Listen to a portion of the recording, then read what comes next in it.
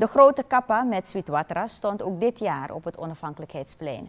De Federatie voor Afrikaans Ranamang staat al 24 jaar achter deze traditionele wassie. Ivan Wijngaarden, voorzitter van deze organisatie, zegt dat de Sweetwatra een deel is van de Creoolse cultuur, waar de samenleving steeds meer bewust van wordt.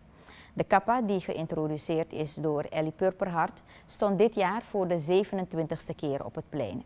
Deze wassie, die daarom ook de Ellie Purperhart Sweetwater wordt genoemd, is volgens Wijngaarden bedoeld om al het kwade van het oude jaar weg te wassen. Het heeft duidelijk te maken met, uh, we zijn einde van het jaar, uh, je wast alle vervelende dingen weg, alle, we zouden zeggen Surinaams, hibis en koenus was je weg.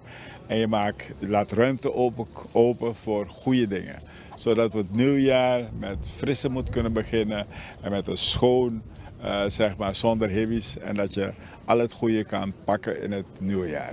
Dat is de bedoeling van, dat is met kerst ook. Alle uh, zeg maar, godsdiensten, maar culturen, Pagwa is ook één van het scheiden van het, het, het, slechte naar het nieuwe. En dat is ook met, met het, uh, het Surinaams cultuur, of het Creools cultuur, hoe het noemt, Afrikaanse cultuur. Dat gaat nog verder, het milieuaspect zit ook erin. Huizen worden schoongemaakt, erven worden schoongemaakt, rivieren worden schoongemaakt. Dus dat is heel, een, heel een, een, een, verbondenheid aan de natuur zit in, in onze cultuur verbonden. Wijngaarden zegt verder dat cultuur een belangrijk gegeven is. Hij haalt aan dat de Sweetwater vroeger niet in het openbaar genomen kon worden. Met het werk van Ellie Purperhart is daar echter verandering in gekomen. Het feit dat andere culturen komen, dan beseffen ze hoe belangrijk cultuur is. En, uh, dus dat is niet vreemd. Zij hebben de waarde van cultuur, zien ze.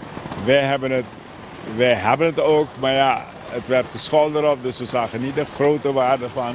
En niet dat we het brengen het openbaar, dan komen ze meegenieten ook van de voordelen van dit stukje cultuur, van deze etniciteit in Suriname.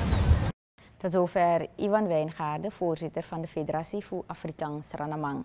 Hij sprak vanmorgen bij de Sweetwater Wassie op het onafhankelijkheidsplein.